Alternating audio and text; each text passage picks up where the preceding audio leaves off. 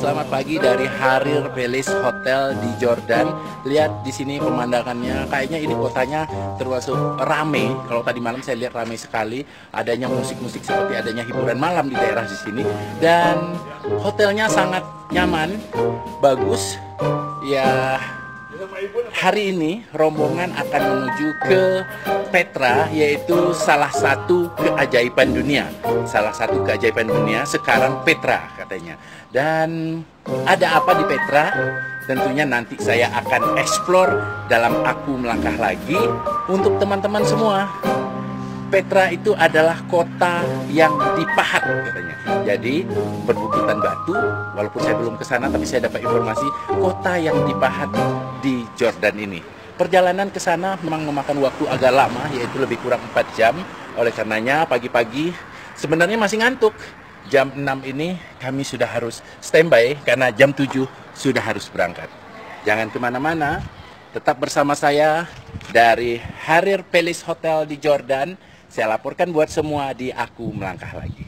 Wassalamualaikum warahmatullahi wabarakatuh. Hai hai jumpa kembali dalam reportase aku melangkah lagi Sekarang kita sampai di Petra Yaitu Petra itu artinya batu. Jadi ini adalah kota Petra atau kota batu. Kota ini terbangunannya yaitu di batu-batu perbukitan yang dipahat tentunya. Dan tadi telah dijelaskan bahwa siapakah yang membangun kota ini? Apakah orang Yunani atau orang Romawi? Ternyata yang membangun Petra ini adalah orang. Mesir. Nah, jangan ke mana-mana, tetap dalam reportase aku melangkah lagi di halaman utama daripada sebelum uh, pembelian tiket untuk Petra Visitor Center ini adanya air mancur yang membuat suasana sedikit adem karena siang hari ini begitu terik panasnya tetapi anginnya sangat sejuk sekali. Saya sebentar lagi juga masih mempergunakan sarung tangan. Tadi kayaknya supaya lebih nyaman tetapi Jangan ke mana-mana, nanti saya akan tetap report buat teman-teman apa itu Petra dan tetap di Aku Melangkah.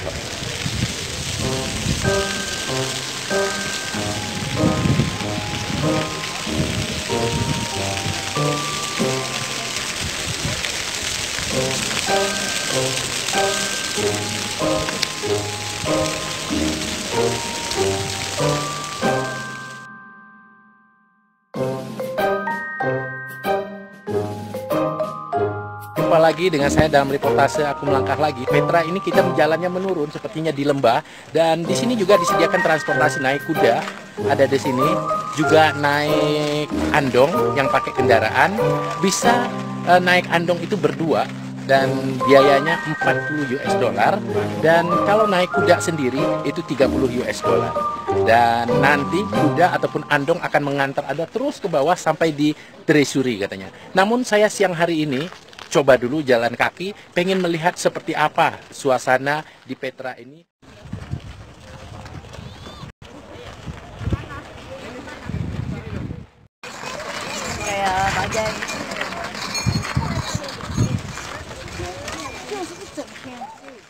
Sekarang jalannya sudah mulai menurun dan penuh dengan bebukitan-bebukitan kiri kanan dari batu tentunya. Kita akan terus jalan dan melacak eh, sampai hai semuanya. Iya, di sini banyak tamu. Iya, semuanya tentu tetap di aku melangkah lagi dan adanya yang berpakaian tentara seperti ini dan jangan ke mana-mana. Hai, where are you from? Eh, in Jordan. Oh, in Jordan, anak-anak Jordan. Oke. Okay. Foto-foto, foto, take a foto. Nah, masih panjang perjalanannya, masih berbukitan batu yang ada di Petra ini. Nanti kita akan terus sampai ke Trisuri katanya, dan kita akan lihat seperti apa amazingnya sehingga menjadi tujuh keajaiban dunia. Sampai jumpa. Ternyata di sini juga ada permainan randai seperti yang dimainkan oleh bapak ini. Dan itu luar biasa bisa dilihat di sini permainan randainya dan bunyinya sama dengan seperti bunyi randainya uh, orang Minang ya pakai seperti ya itulah tadi sepertinya. Jangan ke mana-mana kita masih terus berjalan di Petra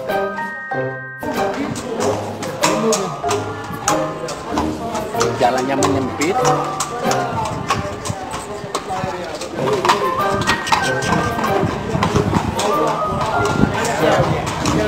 Ayo.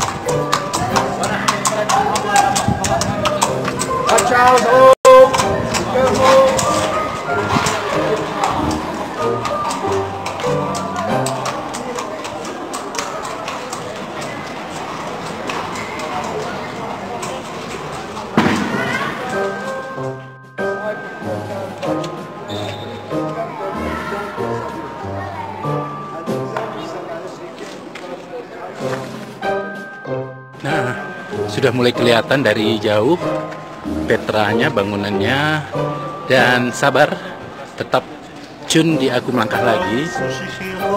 Setelah tebing-tebing ini akan terlihatlah panorama yang begitu indah daripada Petra.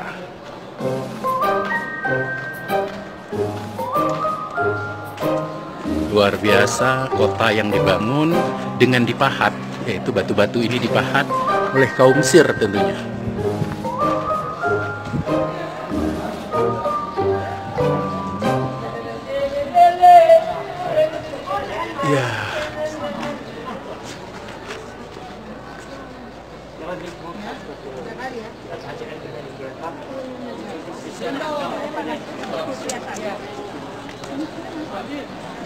مش واضحة اسماء مو واضحة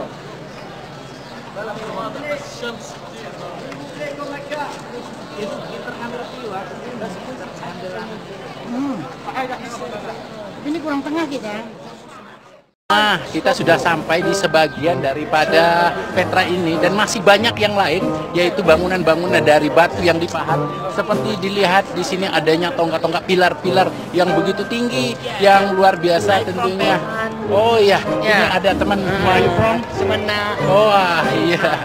Inilah teman-teman di sini dan tetap di aku melangkah lagi dan di sini semuanya pemandangannya bagus. Aku terus mengeksplor ada apa di balik daripada gunung ini dan di belakang sini juga.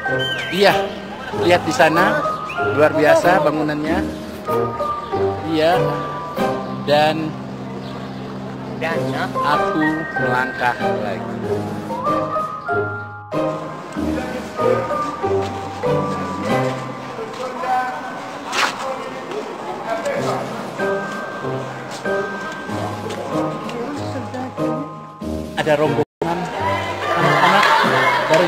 Ini cantik-cantik.